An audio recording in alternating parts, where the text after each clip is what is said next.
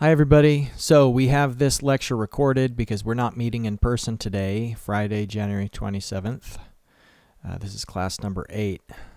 Just to begin with some announcements, remember that on Monday I'm going to be going around the class and checking to see if you are taking adequate notes and have access to the syllabus and schedule, whether you've got all your previous homework assignments. And so, I think for most of you, what that means is keeping a three ring binder that has those materials printed out and available. Uh, I think there maybe are a couple of you who prefer to take everything electronically, and so that's fine as well. So just please have that ready on Monday. Remember that it counts as 2% of your final grade, and this is going to be the first of two checks that I do. Homework number three is available now on Blackboard. It has um, the three reservoirs problems. There are three, three reservoirs problems. And um, Two, the first two are related to the Darcy-Weisbach equation. The third one is the Hazen-Williams equation, which you're going to uh, write the question for. And so that assignment is due on Wednesday. It needs to be uploaded to Blackboard before class. And since you'll likely be using Microsoft Excel for at least the first two, then uh, include your Excel file. And if you do any hand calculations, then also turn that into a PDF. So today what I'm going to be doing is telling you a little bit about the fully turbulent flow assumption and how that can improve and streamline our initial estimate of the Darcy-Weisbach friction factor F. And then I'm going to go through the second Darcy-Weisbach equation based three reservoirs example problem. So remember that there's a template file on Blackboard where you can get a blank spreadsheet and so I'm going to be working through the second of those two example problems in today's lecture. Now, before all that, I just wanted to draw your attention to the application deadline for the DOH Summer Co-op program. Uh, they're going to be accepting applications up until 4 o'clock on Friday, February 10th. And um, I think that probably many of you are already familiar with that program. They've got positions spread out all across the state in each of the district offices, and there's quite a lot of opportunity in Charleston. Um, the eligibility criteria is that you have to have a valid driver's license, have at least 30 credit hours, and so that would be everybody in our hydraulics class, and then a GPA of 2 or better. So I think this is a great opportunity to get some practical experience, to see what real world engineering is all about, maybe spend some time outdoors during the summer. So um, you really should consider that opportunity, and I'll send out the application via email. You can also just find it online by Googling DOH Summer Co op Program. So please note that deadline. All right. Now, the fully turbulent flow assumption. A lot of our problems so far, we've just been starting our iterations with a guess of the F value, but we can do better than that. And the reason why is we can assume that the water is flowing at a relatively fast velocity through some conduit. And if it is, then what that would mean is that we have a relatively large Reynolds number. Now consider the Jain equation. And in the denominator there, there's two terms which dictate the friction factor. On the left-hand side is the term which is related to relative roughness, and so remember that K sub S is an estimate of the equivalent sand roughness of a pipe. And so it's related to the material properties. And then, of course, D is the diameter of the pipe. And so this first term is just really about how rough the pipe is relative to the diameter of the conduit that the flow is going through. But the second term in the Jain equation denominator is about effectively the, the speed that the water is traveling through the conduit. And so if you have a high flow velocity, that would give you a big Reynolds number. And since this Reynolds number is in the denominator of that second term, a big Reynolds number would mean that that second term effectively goes to zero, or at least it's negligible compared to the relative roughness term.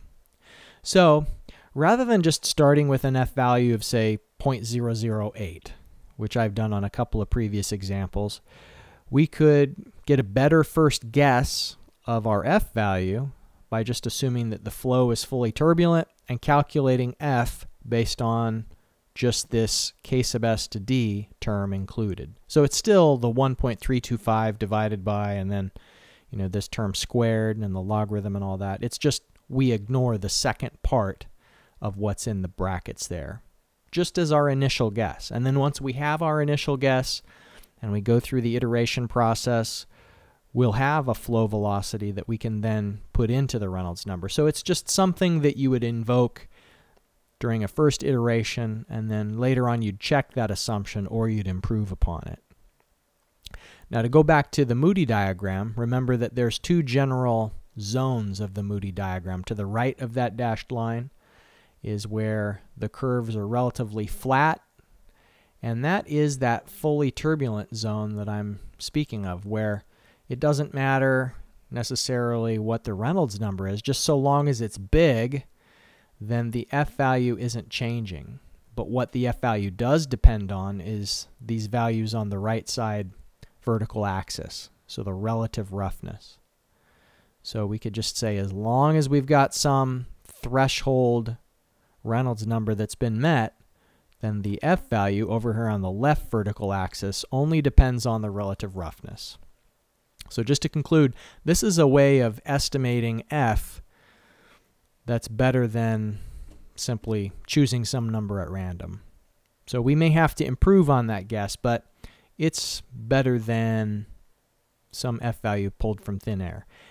And oftentimes our iterations will converge quickly, but sometimes we have procedures, um, we'll be doing something called the, the Hardy-Cross method, and there's if there's a lot of pipes in a network, then the uh, calculations won't converge as quickly if we've just started with some random value. It's a lot better to start with an initial guess based on fully turbulent. So please keep that in mind, the fully turbulent flow assumption and what it means.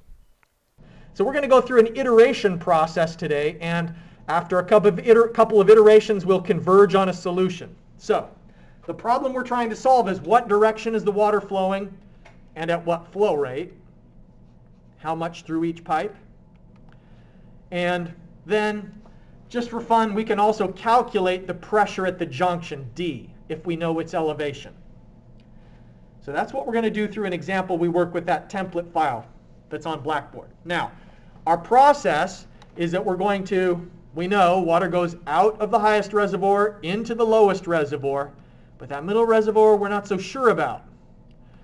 So how much the flow rate is going to be depends on the driving force. It's the difference in head between the origin and the destination. So we can use that as a general rule in the same way where we have a horizontal pipe, it's the change in pressure, the difference in energy between two points that's driving the flow. If you have a big pressure drop, the flow rate will go quickly. If you have a low pressure drop, then the flow rate is more modest.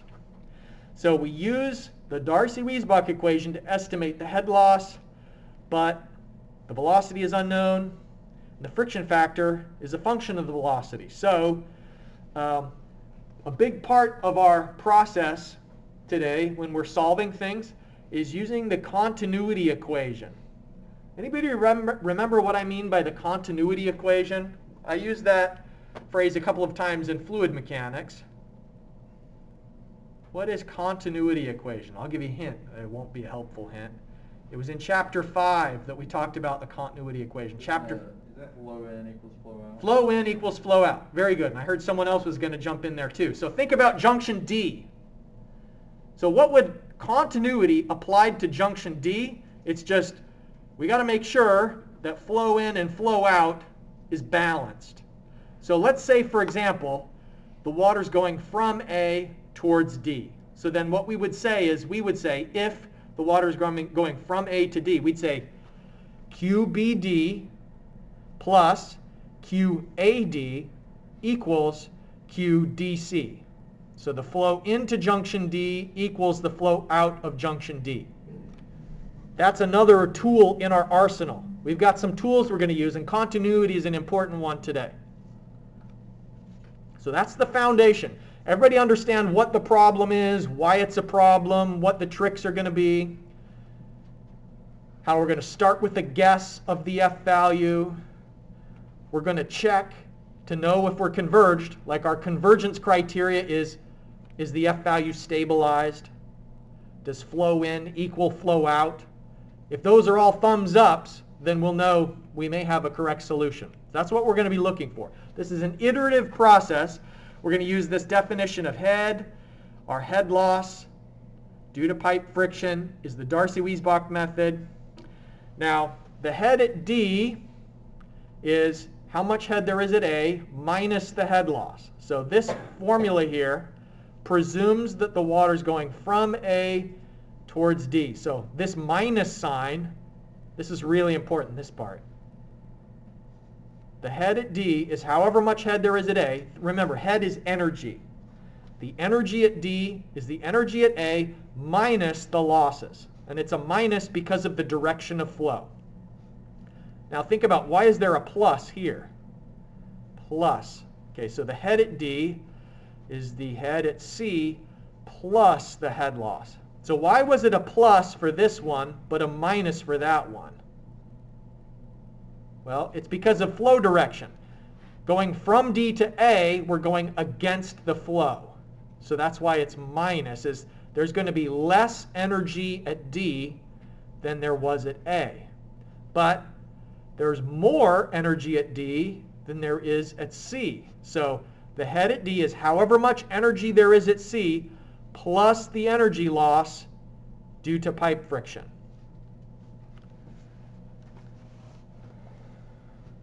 So you need to be able to have, you know, see a new problem and come up with these on your own. These won't always be given. These uh, you know, head relationships. So we're going to start by guessing a head at D. And based on the guess, we'll find the uh, head loss in terms of F and V. We're going to assume an F value for the first one, or for subsequent iterations, we'll update based on the most recently calculated F value and we'll find out what is the velocity. Then we're going to calculate the Reynolds number for the velocity based on our formula for Reynolds number.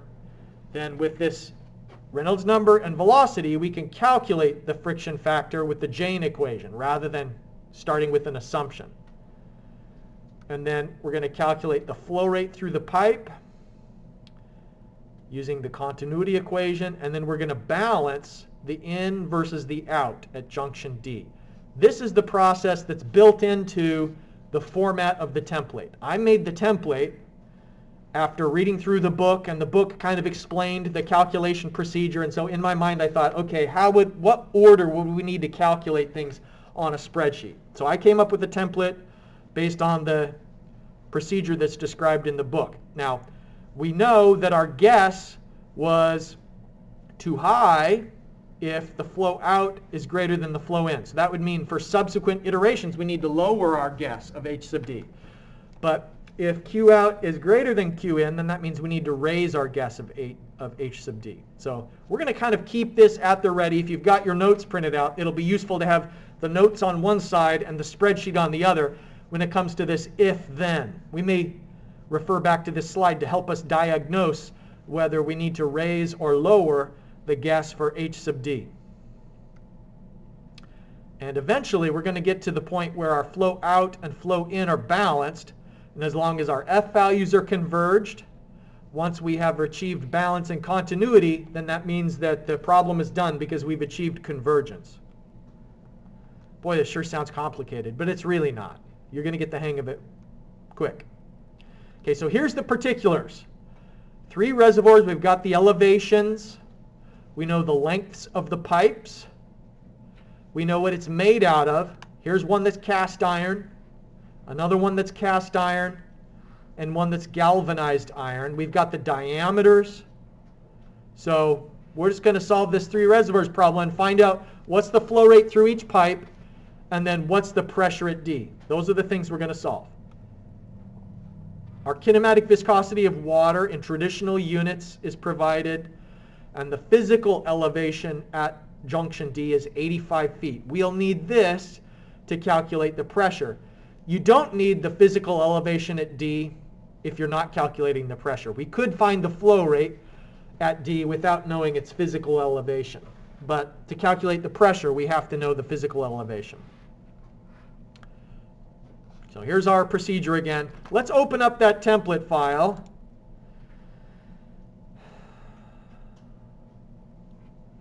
All right. Here it is. We've got the diagram. Got the Jain equation. Look at how I've rearranged the head loss equation to solve for velocity. We're going to use that when we're calculating the velocity based on a known head loss. Here's the kinematic viscosity of water in traditional units. Okay, so our three lines, there's line AD, there's line BD, and line DC. Okay, so if you're following along, key all of that in. Uh, the material, it's uh, cast iron for AD and BD. And then pipe DC is galvanized iron. And the reason why we need to distinguish between them is that they have different K sub S values. The K sub S for the cast iron is 0.00085.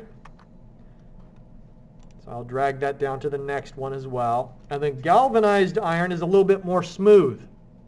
It's 0.00050. Okay. The lengths of the pipes we can get from the diagram there, 750 for AD, 1,000 for pipe BD, and 500 for DC. Just filling in this given data here. 12 inches is the diameter for BD, 8 inches for AD, and 8 inches for DC. So we'll put in the diameter. You'll notice it's in units of feet. So that is 8 twelfths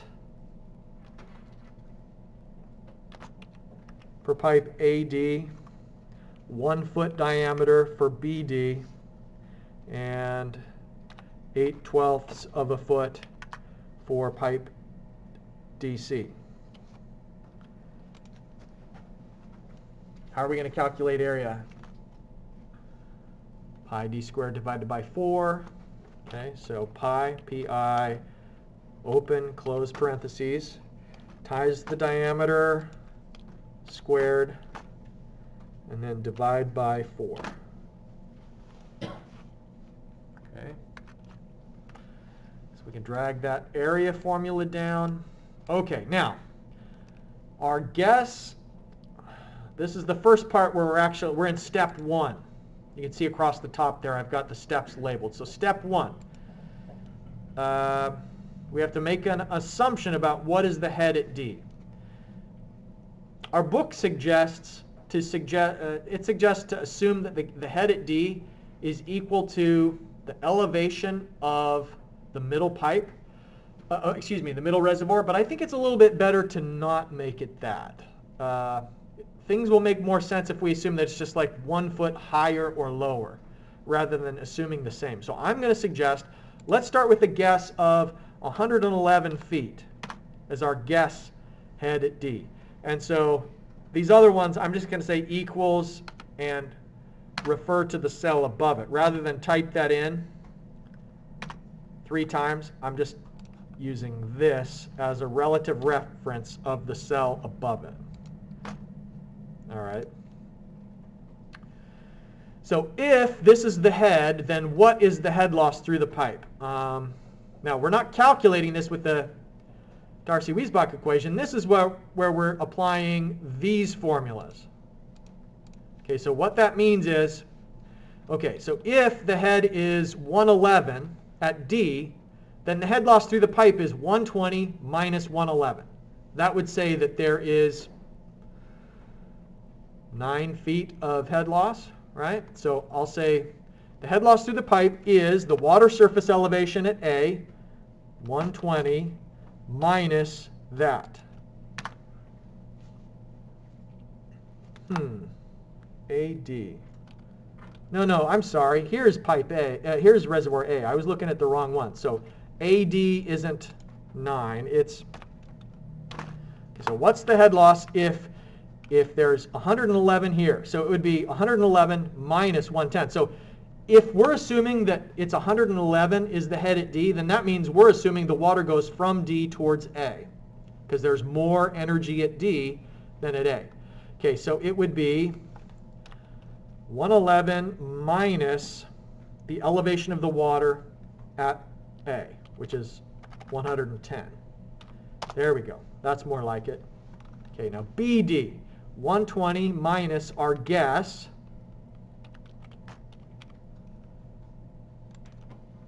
And then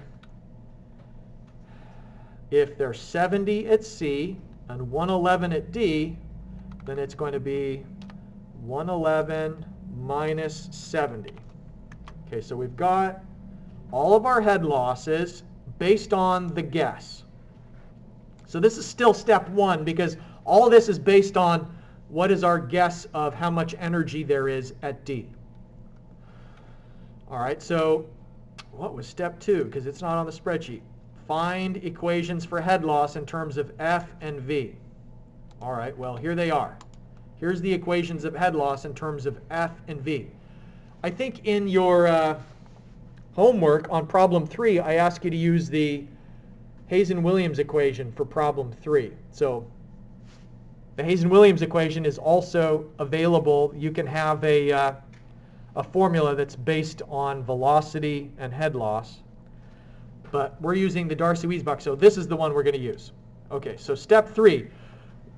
What would be the, uh, the F value? Well, we have to start with a guess right now because you'll notice that we don't know what is the, uh, the V, and so we can't start with a calculation of the F value. So let's just pick somewhere in the middle, 0.02 as the F value for these pipes. Okay, so if it's 0.02, then what would be the velocity? This is where now we're going to use this formula. So it is the square root, you see the square root symbol there, of the h sub f times the diameter times 2 times g divided by the f value. Now, my formula is going to, I can't click on the location because the formula is over the cell. So I'll just type in I-27. That's where the f value is. Times the length of the pipe. Okay, so I have just solved for the velocity based on our guess h sub f and based on our guess f value. Boy, there's two guesses. Oh, thank you. Yes, it should. What an amateur mistake, mistake that is. 32.2. Thank you.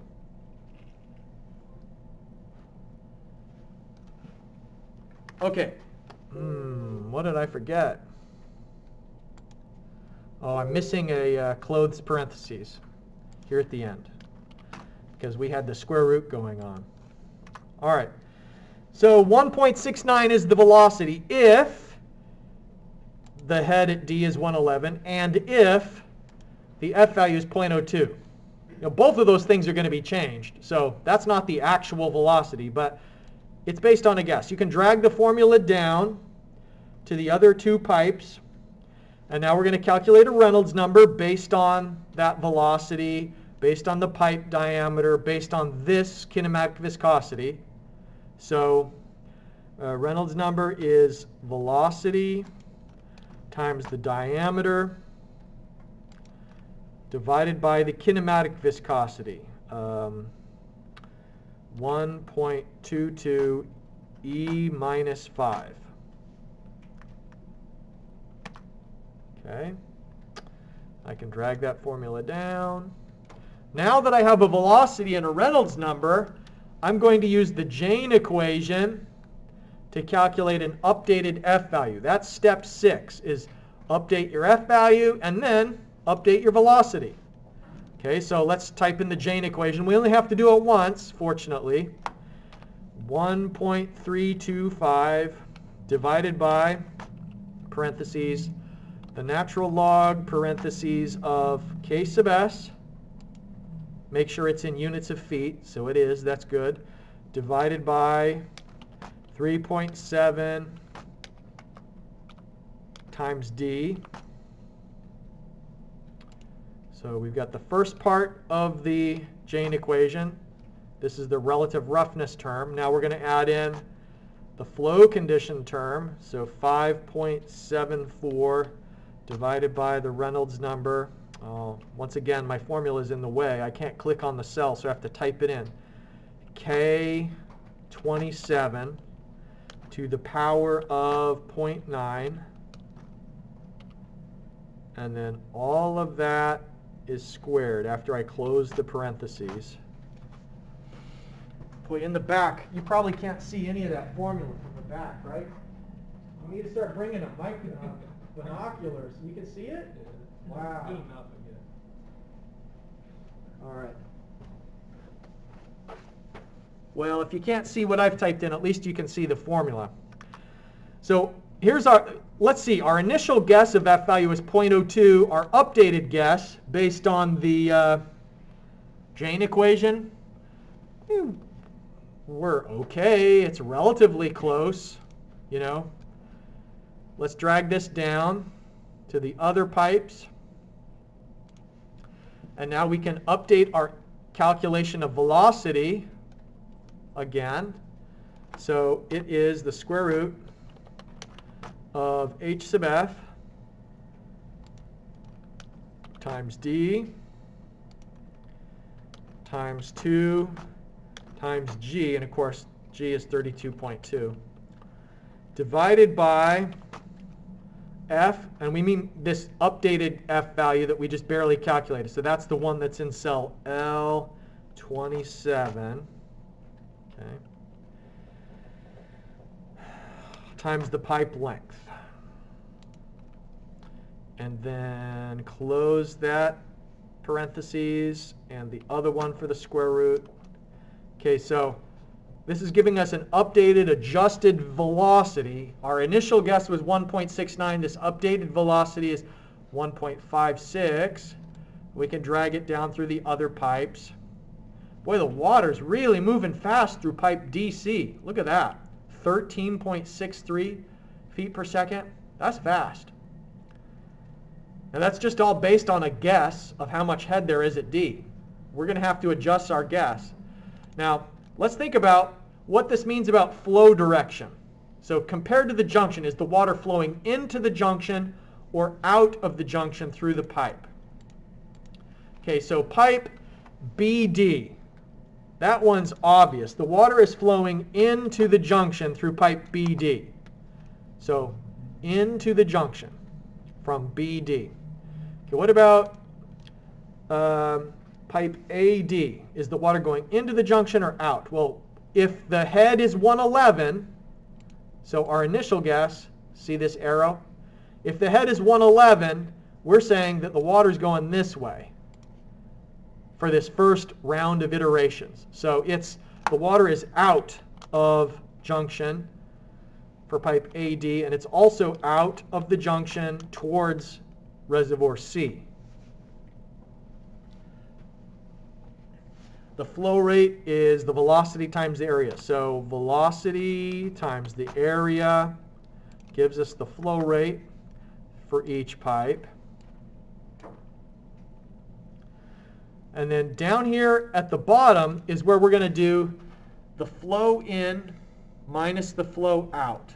Uh, so I guess here I'm suggesting out minus in. We're looking for the difference for continuity. So let's have equals this outflow plus this outflow minus the inflow. So the sum of the out minus the inflow. So how much error do we have in continuity right now? It's 0. Point, uh, 1.05 cubic feet per second. So back to this slide. If the flow out is greater than the flow in, that means that your initial guess was too high and you should lower it. So look what this is saying. This is saying that for the guess that we have, if the head is 111, then you'd have a lot of flow going out, but not very much flow going into the junction. And that doesn't work. That's not what it's going to be. That just is an indication that our guess was too high. So we're going to start with a lower guess. In the next round, we're going to start a guess of 109 feet, a lower guess of the head loss, uh, of the head at D. Okay, so any questions so far on this first junction? I'm going to pause for a second, circulate around, and if you have a... So why is the water going from D towards A in this first iteration? It's because our first iteration said, let's just say, as a hypothetical, that there's 111 feet of energy at D. So if there's 111 feet at D, then the water is going to go from D towards A because the water elevation at A is only 110.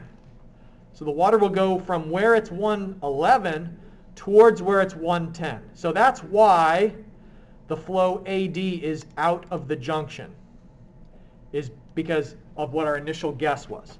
Okay, in the next iteration, we can get we can copy all of this stuff. We don't have to type that in again. So just highlight that and copy it. So copy and paste. That's nice. And our initial guess was too high because out minus n was positive. So let's use a lower guess. How much lower? I don't know, 50 feet, Let's just use 109, see where that takes us. 109 feet. And then I'll just have all of them is based on the guess of 109. I think what we're going to be able to do is, except for this head loss through the pipe, we'll be able to copy and paste a lot of the formulas. But we can't just copy and paste this one because the flow direction is going to be different for AD. If now, the, remember, iteration 2, we're saying, iteration 1 was saying it's a 111, but iteration 2 is saying the head at D is 109. If the head at D is 109, this arrow changes direction. It's, uh, the flow direction is this if the head is 109. Because the water would go from where it's 110 towards where it's 109. So this is all saying, what if the head is 109? So then the head loss would be um, for AD, it would be 110 minus that. For BD, it's 120 minus the elevation at the head at D. And then DC is the guess of 109 minus the water elevation of 70. Okay, so this is like if the water, if the head of the water at D is 109, then this is how much head loss there's going to be through the pipes. Okay, now we're not going to do a guess for this iteration. Uh, let's erase that word guess because it, it's actually the F value from the previous step. So let's have it be referencing these f values from the previous iteration. Instead of starting over with just a completely new guess, we can do better than that. Let's use the most recently calculated f value. Okay, drag that down. So that's better than starting from scratch with 0.2 again, 0.02.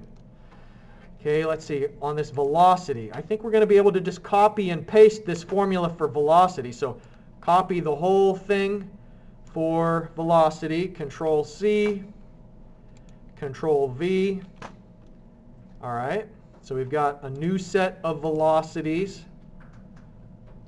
Uh, Reynolds number, we can copy, Control C, and paste, Control V. All right, great. We've got newly updated Reynolds number. This F value is where we calculate it. It's like our updated F value based on the Jain equation. And once again, we can just copy and paste the F value. And it gives us, the change is more subtle this time. You know, last time there was a relatively big jump for pipe AD, smaller. in the second iteration. That's a good sign that the F values aren't changing as much. I like that. Let's copy and paste these velocities because the velocity is just based on the uh, this formula again, the rearranged Darcy-Weisbach equation. So we can copy and paste that. Now this flow direction thing we have to diagnose manually. All right. So if the head is 109, then it's flowing from A towards D. So it's in for AD. In BD, the water is flowing in from B towards D, so it's into the junction, and then it's flowing out of the junction towards C. So DC is out. Okay, flow rate is just Q times A, so I'm going to copy and paste again. Control C, Control V. Hmm, oh, I missed one. Okay, and then we're going to add up the outflows minus the inflow. So equals the outflow minus both of the inflows.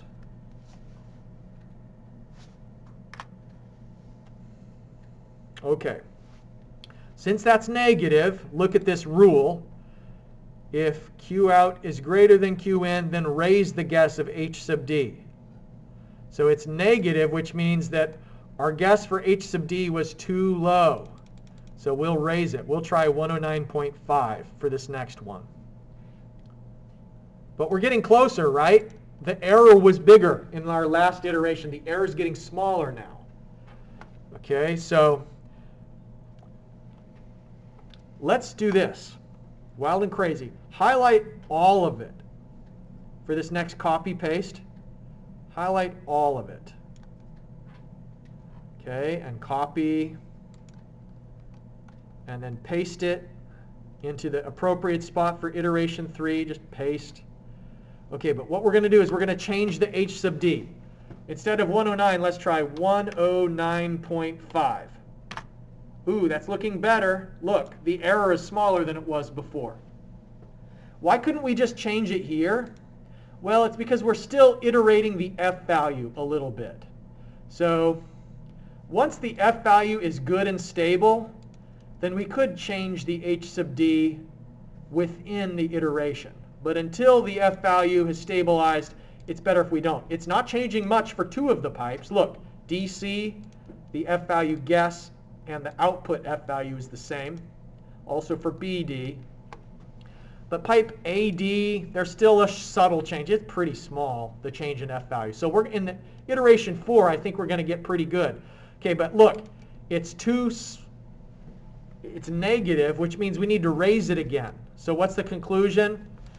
Again, the conclusion is our guess for HD is too low. Raise it. Uh, let's split the difference again.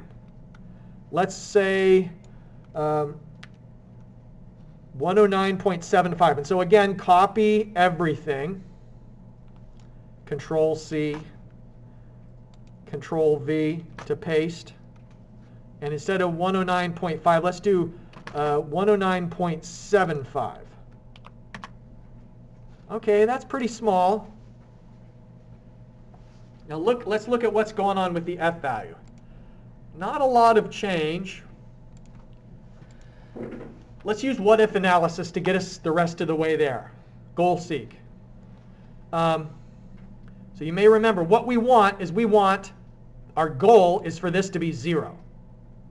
And so we're going to tell it change this until the difference is 0. Okay, so I'm going to go here to the Data tab, Data, What If Analysis, Goal Seek.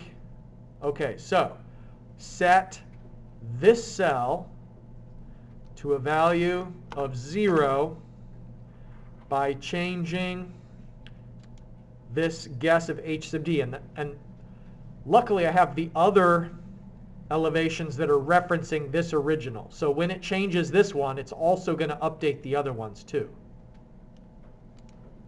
So go. Okay.